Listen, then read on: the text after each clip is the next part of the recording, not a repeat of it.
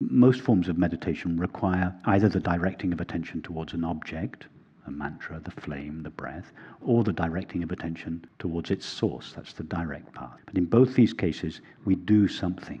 The mind does something. It directs its attention either outwards towards the object or inwards towards the self. And then there's this third type of meditation, which doesn't require doing anything. Why doesn't it require doing anything? Because being or being aware is, is what we are. We don't have to practice being.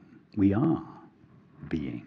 The awareness of being is, is not an activity, it's not a, a form of meditation. So I use the word non meditation to try to evoke this absolute effortlessness of simply being which is like being deeply asleep. It's the same experience as being deeply asleep, except that we are wide awake